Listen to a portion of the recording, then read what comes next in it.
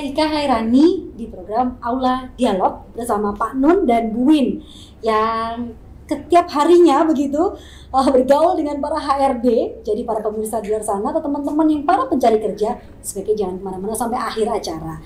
Yang jelas tadi kita ngobrolin tentang SQ, IQ, EQ.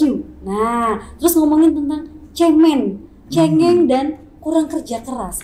Apakah itu menjadi wacana yang paling uh, top hitsnya para HRD ini? Mau silakan mungkin Bu Win dulu nih. Ya, jadi gini Mbak, uh, ketika tatap uh, ketemu pertama, Oke. mungkin pernah dengar ya iklan sebuah iklan kesan pertama begitu menggoda. Ya, nah, itu. iklannya apa Mbak Ika mungkin dengar Ya, uh, pernah ya, sensor ya.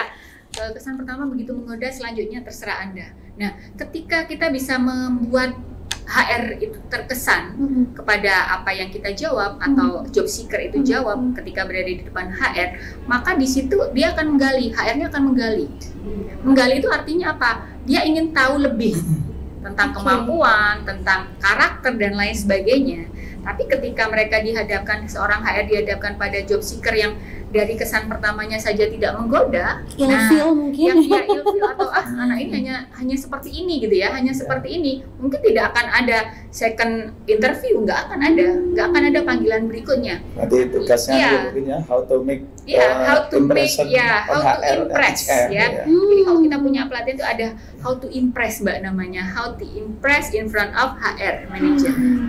Itu tagline yang luar biasa loh how to impress karena memang Nah. first look itu Ya. eh, ka- walaupun mungkin nantinya akan lebih kenal lebih baik tapi Hmm. how look pertamanya ya bu ya yang luar biasa tidak harus cantik tapi menarik nah Gitu ya? tidak harus cantik tapi bagaimana kita itu menarik membuat sebuah impression ya Hmm. membuat sebuah impression uh, seorang HR terkesan pada kita dengan senyum kita, dengan body language kita dan lain sebagainya itu bisa membuat kita cantik atau kita menjadi lebih ganteng, kegantengannya naik. Nah kayak gitu Mbak Ika.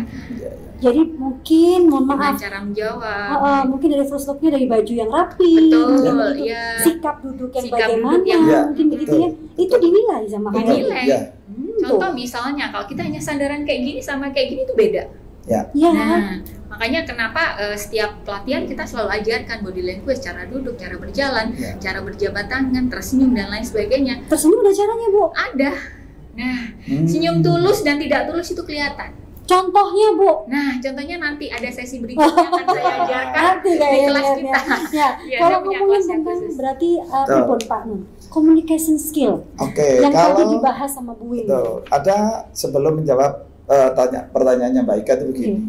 Ada dua step sebetulnya ya. Hmm. Yang pertama itu anak-anak itu ketika melamar saja lamarannya sudah nggak diperhatikan oleh perusahaan. Ah, Itu yang step yang pertama.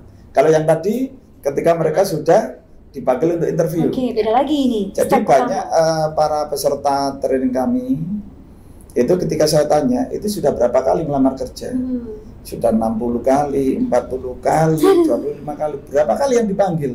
Tiga atau empat kali atau lima kali. Karena apa Pak? Nah, jadi begini, Mbak Ika, rata-rata perusahaan sebelum memanggil eh, pelamar kerja itu biasanya eh, riwayat para pelamar di tracing dulu. Ada penilaian administrasi lah, gitu ya. Penilaian administrasi itu dilihat portofolionya pelamar itu apa sih, sehingga makanya adik-adik itu meskipun masih fresh graduate sering-seringlah ikut seminar, Hmm. seringlah berorganisasi. Sertifikat itu akan menjadi berat eh, memberikan apa ya? Nilai Walaupun nilai tambah. walaupun seminar saja. Iya, Oh, termasuk. gitu. Berarti anak ini or- orang-orang yang suka maju, Iya.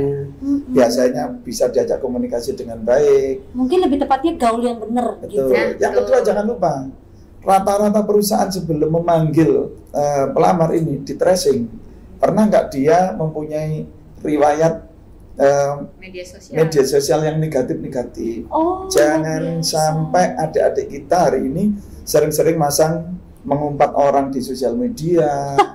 hati-hati. Nah, Ternyata sampai sedalam itu. sampai di situlah. Ada Kenapa banyak lamaran kerja nggak dipanggil? Salah satunya di antaranya itu. Ada lagi Bu Win? Ada lagi. Ya. uh, kadang-kadang kan ketika interview ditanya, Iya. Ya, ID-nya namanya apa? Di searching nggak ada, sesuai nama nggak ada. ya. Nah, mereka mencari Oh. atau uh, mereka membuat nama yang berbeda. betul. Ya, Bukan namanya anak sendiri. sekarang itu Nah, begitu nah sekarang kan alay-alay gitu ya Oh. mereka ya. Nah, mereka malah uh, itu bukan jati diri mereka. Nah, Hmm. kalau sudah itu termasuk membohongi publik. Nah, Hmm. itu adalah sebuah kebohongan kecil yang mereka anggap itu benar, tapi dalam penilaian seorang HRD ini menjadi suatu yang Nilai yang Akhirnya apa? agak agak sedikit Iya. Betul. betul. Akhirnya apa? HRD ini ragu-ragu dengan pelamar ini serius nggak? Iya. Terus lihat riwayatnya seperti ini. Jangan-jangan perlu kau bohongin publik saya lagi. Nah itu Iya. satu lagi Mbak Ika. Oke. Saya ini punya teman HRD sebuah perusahaan yang nggak bisa sebut namanya, tetapi Iya. di sekitar Surabaya Selatan ya. Pripun Bapak? Ini. Jadi setiap dua minggu sampai satu bulan itu satu pickup ini lamaran kerja Pak dijual, eh, bukan dijual ya, dikasihkan dibuang untuk ini loh Pak. Eh, untuk eh, rongsokan gitu loh Pak. Oh di kilo. di kilo. Bukan Astaga. di kilo ya, pokoknya itu dibuang kan Iya, apa? iya, iya. Dianggap pelamar-lamar itu nggak memenuhi syarat untuk ini. Ini secara administrasi. Wow. Nah, nanti yang kedua seperti tadi yang disampaikan Mbak Win.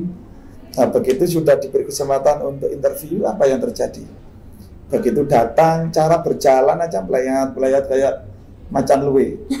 Nah, kalau misalnya Mbak Ika nih, jadi seorang HRD nih, begitu mau mau mewawancarai orang, Iya iya iya. ternyata iya. yang datang aja nggak punya greget menjadi seorang yang semangat untuk kerja, Iya, mau nggak terima? Iya, males juga sih. Yang Iya. kedua, diajak bicara, nervous, ngomong geratul-geratul, iya, nggak iya. karu-karuan. nunduk terus mungkin Nunduk. Terus. Oh, oke. Terus nggak auranya ah, nggak bersahabat, nggak menyenangkan, nggak bisa senyum. Wow, apakah itu? Hmm, Ya ya. itulah salah satu yang membuat mereka itu pada akhirnya sulit mencari kerja. Mungkin teman-teman atau pemirsa di luar sana yang sedang eh, mendengarkan kami bertiga di sini jadi note itu loh ya. Iya. Eh, jadi dari pertama mungkin apakah berpengaruh juga nih sebelum kita masuk ke benar-benar waktu Hmm. wawancara tampilan lamaran. Nah itu yang belum saya bahas. Eh, tiba-tiba tampilan lamarannya harus apakah sesuai yang lagi hit sekarang ataukah tulisan tangan atau bagaimana yang biasa jadi hit betul, jadi betul. jadi yang mencuri perhatian HRD selain Ya. Akun-akun tadi. Maka dulu saya ya. dulu. monggo, Ya. silakan. Jadi kalau menurut pengalaman saya, saya juga sering menginterview ya, Mbak ya, Ya. menginterview dan saya juga uh, ada program bursa kerja penempatan Hmm. dan saya sudah wawancara juga dengan HR. Itu biasanya seperti ini. Amplop itu kan sama coklat semua ya, Coklat, coklat ya. semuanya gitu ya, Iya. coklat semuanya. Terus kemudian ketika melihat amplop coklat itu jam ke jam ya, detik demi detik kok coklat Capek. semuanya gitu kan Capek, capek, ya. capek duluan Entah capek. akhirnya yang dilihat itu adalah yang menarik hati yang pertama menarik hati terus kemudian dibolak-balik nama penulisan nama dan eh, sendernya atau pengirimnya Oh, oke. pengirimnya misalnya diisi dengan alamat lengkap terus kemudian eh, ada sebuah kertas ya ada sebuah kertas yang ditempel di situ sebagai pengirim misalnya Ika gitu ya Ika Ah, Kairinisa ah. dari eh, Hmm. lulusan apa ijazahnya apa dan lain Oh, sebagainya langsung sudah lengkap di situ di, di belakang itu lebih menarik daripada hanya sekedar Ika nomor telepon sekian Iya, Ya. orang lebih ya paham. lebih lah. paham ya kemudian eh, yang kedua Kurikulum vitae. ya belum dibuka dibuka ketika dibuka semuanya warnanya putih gitu ya semuanya Ya, warnanya Putih. putih putih folio semuanya ba- bergaris ya gitu. folio Bergaris. bergaris dan tulisannya agak ruwet misalnya Ya, agak mungkin jadi ruwet. calon dokter ya, nggak jadi, Bu, ya, obsesinya. betul ketika sudah ruwet pelukis. Iya, itu pelukis. mata mata HRD udah udah Capek. sepet duluan ya Iya. udah Ya walaupun duluan. Ya, mungkin meskipun bagus, IP-nya betul. bagus ketika tulisannya Benar, mohon maaf lebih baik iya. berketik mungkin Bu ya. ya, Ya, sekarang lebih lebih baik. lebih baik seperti itu Berketik atau mungkin Ya. ada uh, desain khusus. ada desain khusus Harus desain ya khusus. karena gini semakin ke sini semakin ke sini yang namanya eh, desain itu kan lebih berwarna Iya, betul. ya kalau kemarin hanya pakai Times News Roman ataupun Hmm. Arial Hmm. sekarang lebih di desain dengan cantik pola lah ya. cantik terus foto harus ditempel di mana layoutnya seperti Ya, ya, apa gitu ya. ya itu yang lebih menarik Itu dari awal udah harus diperhatikan. Iya, betul. Mencari perhatian para HRD. Benar. Amplopnya selain coklat boleh Kak Bu? Ah, ini mungkin ada Nah, pertanyaan gitu Boleh, ya. pasti Boleh boleh. ya? Ya, jadi kalau misalnya, aduh jangan sampai ya amplopnya warna merah ya jangan, Iya. gitu ya.